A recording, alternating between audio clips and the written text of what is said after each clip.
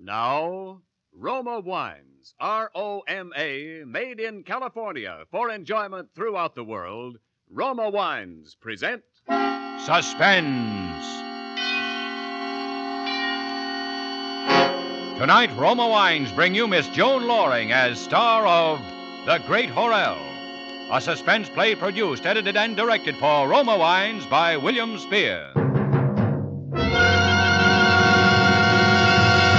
Suspense, radio's outstanding theater of thrills, is presented for your enjoyment by Roma Wines. That's R O M A, Roma Wines. Those excellent California wines that can add so much pleasantness to the way you live, to your happiness in entertaining guests, to your enjoyment of everyday meals.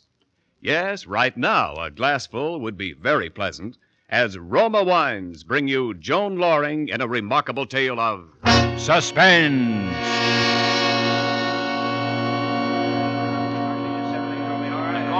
Court come to order. Is counsel prepared to proceed? For the prosecution, we are, Your Honor. The defense? Yes, Your Honor. Very well. The district attorney may call his witnesses. Your Honor, my first witness is a document. This document, duly entered as evidence in this court and marked Exhibit A, is the diary of Alma Horrell. I should like the court's permission to read from this diary certain entries, beginning with May the 14th, which I consider to be relevant to this case. Granted.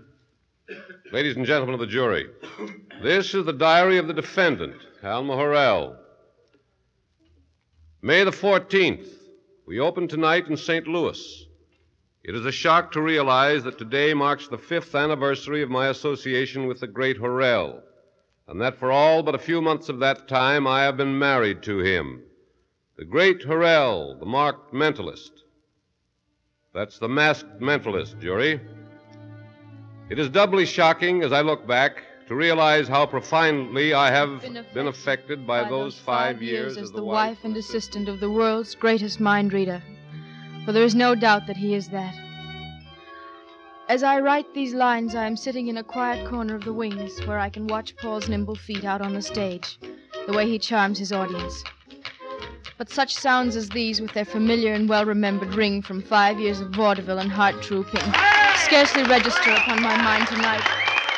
For today I have finally faced the terrible fear that has been haunting me through the gathering nightmare of these past months. If I have not faced it sooner, it is because my mind quailed before the thought and all its implications. The evidence has always been there in a thousand little acts and instances almost from the first. Perhaps meeting Paul has forced the decision. Certainly I can wait no longer and avoid decision. Tonight I must put it to the test. What the result will be, I already know. What steps for my salvation will lie ahead thereafter, I have not dared to contemplate.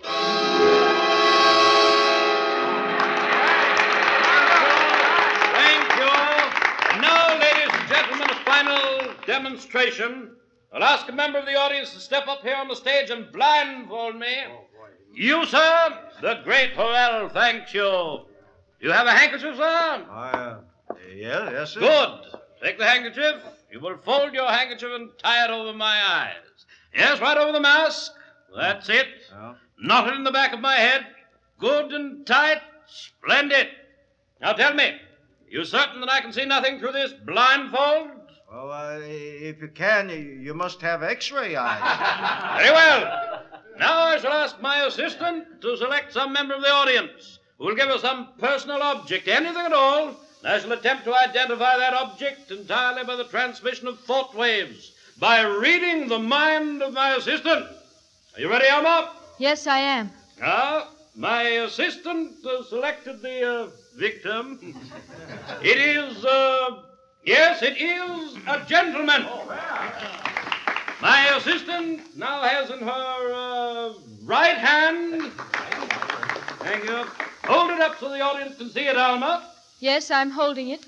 The object appears. It's very difficult. Difficult, but the the object appears to be a picture. Yes, it is a picture. A picture of a middle-aged man. He has a beard. It is a picture of Abraham Lincoln on a five dollar bill. please, please, please. Now I will ask my assistant to concentrate all her faculties on the serial number of that five dollar bill. Do you have the number well in mind, Alma? Yes, I have. Good. Will the gentleman take the bill back again, then, please? Does the gentleman now have the bill in his possession again? The gentleman has? Concentrate, please, Alma. No, no, no, no, I'm not getting it. Now, that's better. Yes. Yes, the serial number of the $5 bill the gentleman has in his hand is, uh, B four two five three three one nine seven B. Is that correct? That's right. I thank you.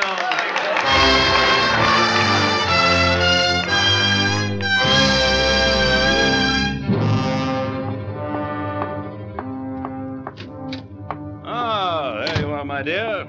Congratulations. You were practically perfect tonight. Martin, I want to talk to you. By all means. No, turn around. Look at me, Martin. This is terribly important. It also happens to be quite important for me to get this grease paint off. Go ahead, Alma. I'm listening. Martin, you just said I was practically perfect tonight. Yeah, you were indeed, my dear. Your signals came through with unusual clarity. But, Martin, Good heavens, Alma, you've been doing this long enough to know what I mean. Martin, I didn't give you any signals tonight. What? I didn't give you any signals. Very well. The word then is not perfect.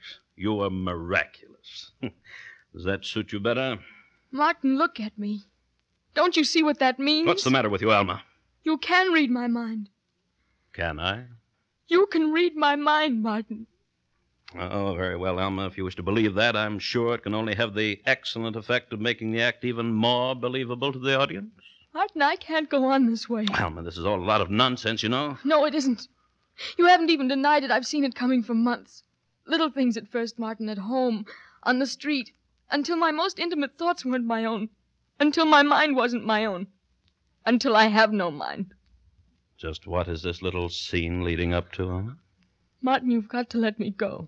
You've got to set me free. Let you go? Yes, give me a divorce. Go, Alma. You're being hysterical. Martin, please. Alma, I've devoted five years to my association with you. I've trained you until, yes, until you were perfect. I'm sorry, Martin. I'm sorry for all that, but I've got to have my freedom. Are you thinking of Paul Wilson? You know what I'm thinking. I see. Then you do understand, Martin. I understand that you'll be of very little use to me in your present condition. Never. I can never go on again. Very well. It just so happens I received only this afternoon a very lucrative offer from Australia. What? They'll even supply a partner, apparently not fully appreciating your importance in the scheme of things. I shall accept. Oh, thank you, Martin. I shall accept. But I shall return in about three months. Meanwhile, we shall forget Paul Wilson, won't we? I shall expect you to be fully rested when I return, and in a reasonable frame of mind. Rested? And as for your freedom, Alma, understand this. You'll never, never be free from me. Set your mind to that. My mind. my mind.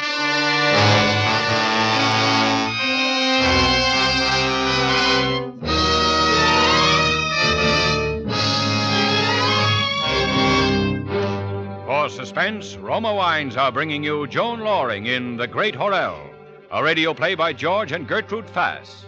Roma Wines' presentation tonight in radio's outstanding theater of thrills, Suspense.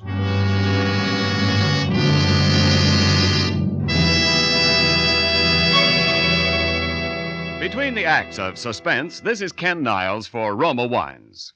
Last week, ladies and gentlemen, many of you heard me announce for Roma the first release of Grand Estate wines. Tonight, I bring you the story behind Roma's proud presentation of premier quality Grand Estate wines. Years ago, Roma vintners set as their goal a limited bottling of truly outstanding wines. Beginning with a selection of choice grapes, Roma vintners unhurriedly created five superior wines, each with a character born of timeless skill, each rich in the brilliant clarity, full fragrance, and mellow taste which distinguish an indisputably great wine. Today, at last, Roma, America's greatest vintner, offers you these fine, grand estate wines, each fully reflecting the patient perfection of Roma winemaking methods, each assuring you unvarying excellence always. For the host to offer, for the guest to give, grand estate wines are a regal expression of hospitality, a flattering gesture of good taste.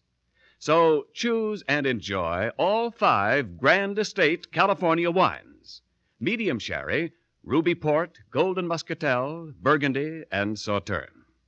Remember the name Grand Estate Wines by Roma, the crowning achievement of vintner skill. And now, Roma Wines bring back to our Hollywood soundstage Joan Lorring as Alma in The Great Horrell, a tale well calculated to keep you in suspense.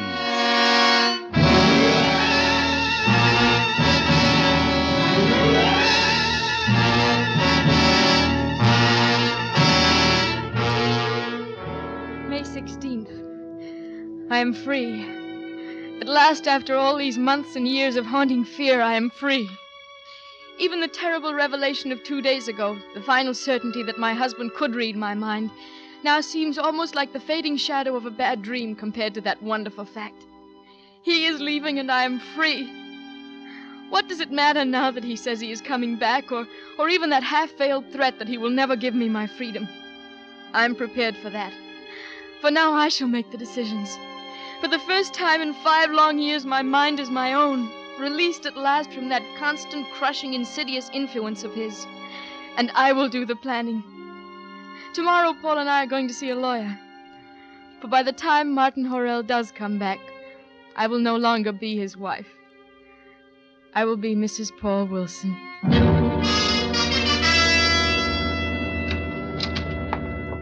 Can I help you? Mrs. Martin Horrell to see Mr. Banning. Do you have an appointment? Yes, for two o'clock. Have a seat, please. Thank you. Mrs. Horrell to see Mr. Banning. Thank you. Mr. Banning will see you in just a moment, Mrs. Horrell. Thank you. Oh, Paul, darling, I can hardly believe it. I know. How long will it take? Six weeks if I go to Reno.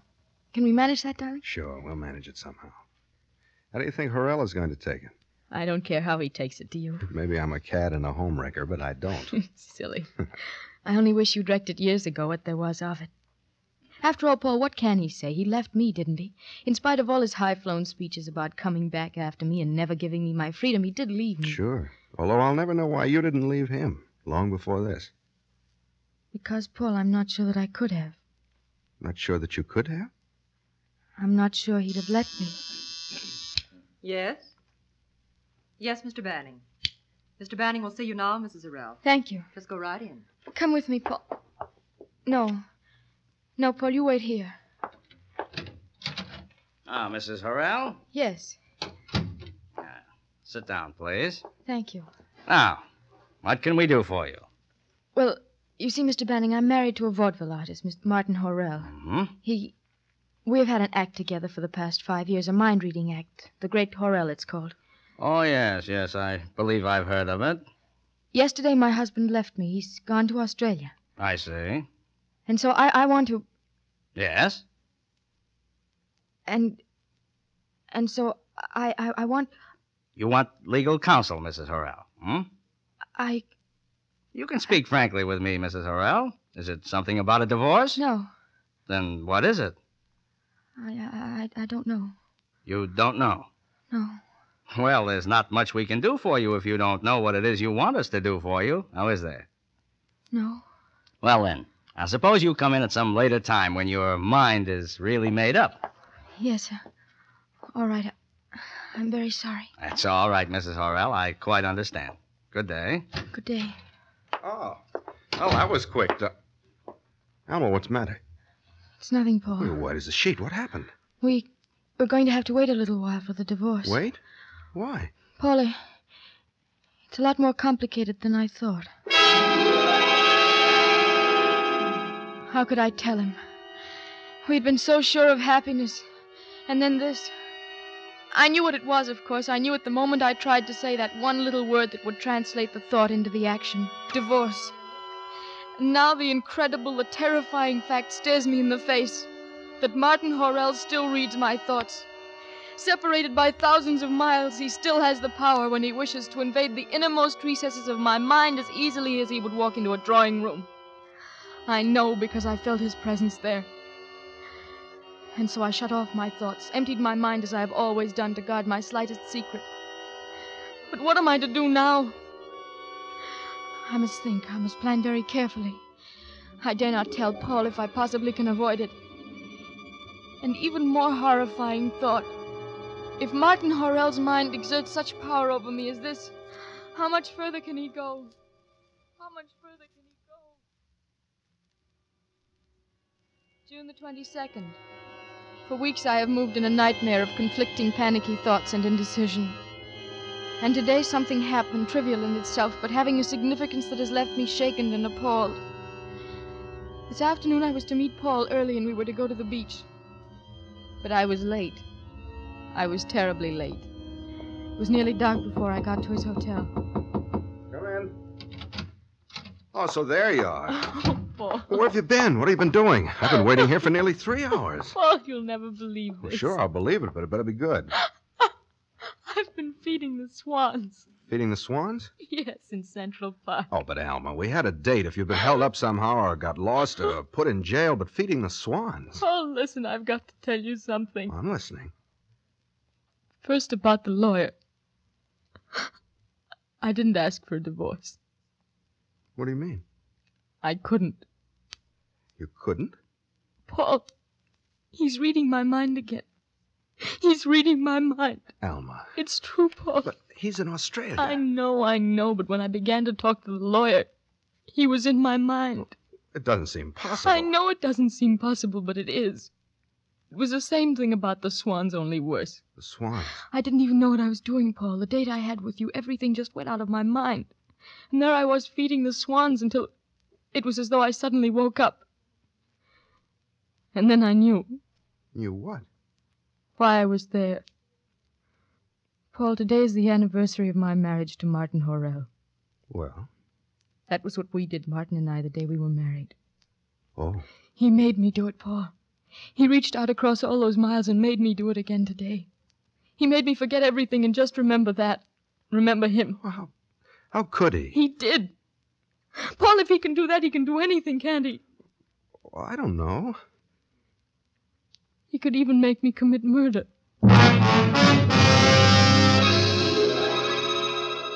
July 7th. Yesterday I bought a gun. I don't know why, but something told me that I must. And today I found my opportunity to use it. It was early in the afternoon. I was in Brooklyn. I did not know why. And then I was going into a theater. They were playing a combined bill of a current motion picture and vaudeville. Again, I did not know particularly why I was there, but it seemed quite natural. I found a seat near the back of the house. A new act was just beginning. Ladies and gentlemen, the masked marvel of mentalism, the great Horrell. For a moment, I sat stunned, unable to believe that I was not dreaming. But it was. He seemed to have changed a little, the voice perhaps, something about his hair, but it was. And so I knew. I knew why I was there. I knew that he had drawn me there, t- told me to come there as surely as though he had summoned me with his voice. But I knew something else. I knew why I had bought the gun. I knew at last the terrible price I was prepared to pay to win my freedom. Impression of a piece of paper, an official piece of paper. It is, yes, it's the gentleman's driver's license. Is that correct? Yes, that's correct. Thank you. Thank you. I knew what was coming next. I knew that out of all that audience, I would be selected. I knew this was the chance he had been waiting for. But now I also knew it was the chance I had been waiting for. I was on my feet and making my way towards the aisle. My handbag was open, my fingers around the grip of the automatic. Now, ladies and gentlemen, perhaps there are some of you who believe that there's some trick to this, that it's all done with mirrors. Oh. Now, before we go any further, I'm going to ask some feminine member of the audience to step up here on the stage and blindfold me. Are there any volunteers? Now, I see a young lady standing in back of the house. Will the young lady come up on the stage, please? No. Don't be bashful. Step right up. You're not afraid of me, are you? or perhaps the young lady is afraid I'll read her mind. Perhaps she's harboring some guilty secret.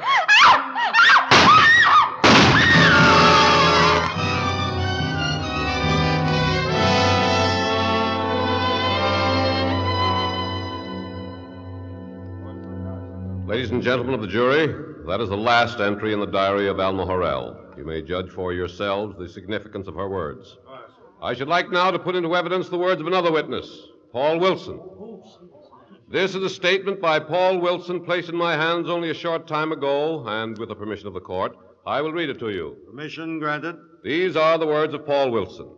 I am writing this hoping that it will never see the light of day. But if it ever does, I can only hope that it will be used wisely and unjustly and justly, and not as an instrument of vengeance or retaliation. I have been in love with Alma Horrell since The first day I met her, I am still in love with her. By the greatest of good fortune, it was not too difficult to hush up the affair in the Brooklyn Theater. After she fired the second shot, someone grabbed her and they took her to the manager's office. She had the good sense to say nothing and to contact me at once. The theater manager didn't want trouble, and after I'd spoken to Horrell's agent, a fellow I'd never seen before, it became apparent that he didn't want to press charges either. Of course, it was impossible to explain why she'd done it. No one knew that except Alma herself. And me. And I knew that it was up to me to help her somehow and as quickly as I could. I got hold of the best psychiatrist in town, a Dr. Emil Hochman. He came to see Alma the very next day at her apartment. This uh, feeling you have, Mrs. Horrell, that your husband has control over your mind, it has been growing stronger? It is not a feeling, Dr. Hochman. It's a certainty. Oh, I see. There really isn't any other way to explain what's happened, is there? Well, it's uh, very unusual, yes. Perhaps you would care to discuss it with me further at my office. If you think that there's anything that that can be done, yes, I, I'd like to very much. Good, good. Shall we say tomorrow at uh, two, then? Yes, tomorrow at two. Until then, Mrs. Horrell. I'll show you to the door, Doctor. Oh, thank you, if you please. Bye, Doctor. Goodbye. I'm almost frantic, Doctor. I've thought of going to Horrell himself. I've thought of almost everything. Do you think something can be done? You see, Mr. Wilson, when two people live uh, so closely together over a number of years as Mr. and Mrs. Horrell, it's not unusual that uh, they may, well, occasionally, shall we say, uh, anticipate each other's thoughts. Yes, I suppose so. The matter of the anniversary, a subconscious recollection. Of the theater, well, she must, of course, uh, noticed somewhere, and perhaps forgotten it, that Mr. Horrell was back in the United States. Yes. But uh, his reading her mind, projecting thoughts into her mind, there's no scientific proof whatsoever that such a thing is even remotely possible. And that's what makes it so terrible. I don't wish to alarm you, Mr. Wilson, but, well, we shall perhaps find out more tomorrow. Good day, sir. Goodbye, Doctor, and thank you. Is that the paper, Paul? Oh, yes, it was outside the door. Is there anything in it about I'll my... see. Mm-hmm. Yeah, there's a little something here on the theatrical page. What? I guess he couldn't resist the publicity, but it just says unidentified young woman. Oh. It's funny he never tried to get in touch with you, isn't it? But he did, Paul, didn't he? Alma. What? It wasn't Horrell at all. Look here. What? He'd sold the act in Australia, the name and everything. And What, Paul? Alma, he was hurt shortly after he arrived. That's why he sold the act. And he died out there. Died? Martin Horrell has been dead for almost a month. Oh. I see. What? I really should have known, I suppose, Known what, Alma? that it was someone much closer to me than Martin Horrell who was reading my mind. Listen, Alma, the doctor says. You knew all the facts. It's you who's been reading my mind, isn't it, Paul? Alma, the doctor says that's impossible. He says there's but no. you should have realized, Paul, that if I was willing to kill Martin Horrell for my freedom, I would be willing to kill you, too. Alma, the... Yes, Paul. I still have a gun. It's no use locking yourself in there, Paul. Because you see, I'm going to wait.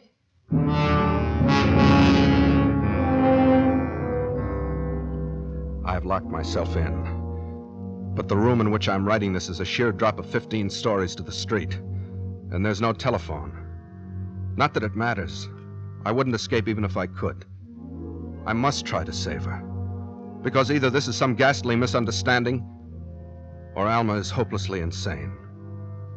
What I have written here I shall hide somewhere in this room. I shall hide it in such a way that it can never be discovered except by the painstaking search of someone looking for evidence. Evidence of murder. And now, I'm going to unlock the door.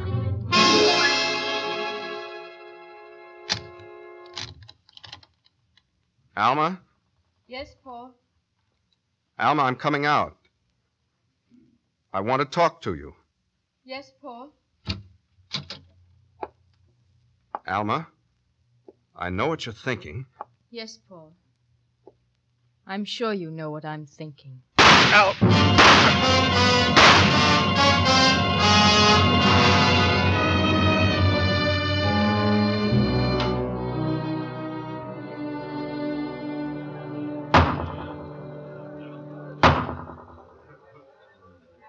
Ladies and gentlemen of the jury, have you uh, reached a verdict? We have. How do you find the defendant? Guilty or not guilty? We find the defendant, Alma Horrell, did deliberately shoot and kill Paul Wilson. We further recommend that she be confined for the rest of her natural life to an institution for the criminally insane.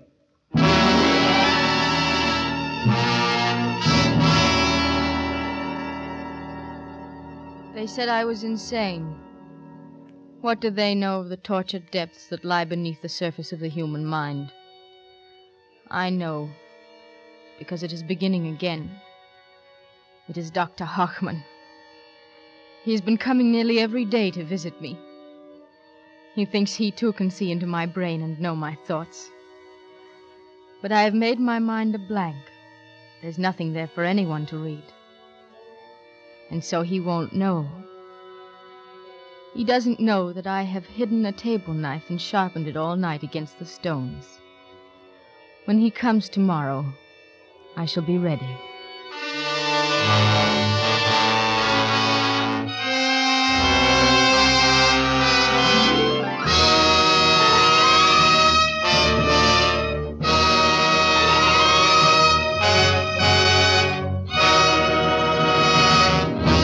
Suspense.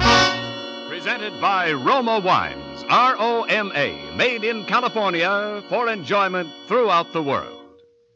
This is Ken Niles to tell you of a luxurious new experience in wine enjoyment. An experience you share with discriminating wine users everywhere when first you taste Grand Estate Wines by Roma. Yes, to bring you the ultimate in wine pleasure, Roma vintners carefully selected the finest of California grapes. Then, with infinite skill and winemaking resources unmatched in America, Roma vintners patiently guided to taste perfection these magnificent Grand Estate wines. Today, Grand Estate wines are yours to enjoy, yours to serve proudly. No matter what the occasion, the host who possesses all five Grand Estate California wines is sure to please all tastes at all times. For smart entertaining, delight your guests with Grand Estate Medium Sherry, Ruby Port, or Golden Muscatel.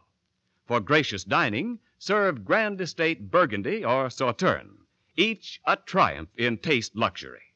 So rely on Grand Estate wines by Roma, crowning achievement of vintner skill.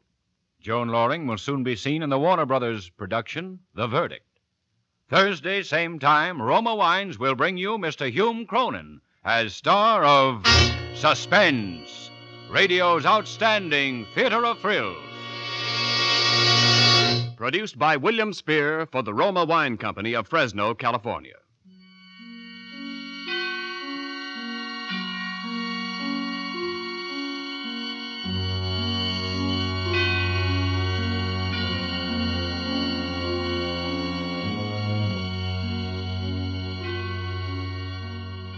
This is CBS, the Columbia Broadcasting System.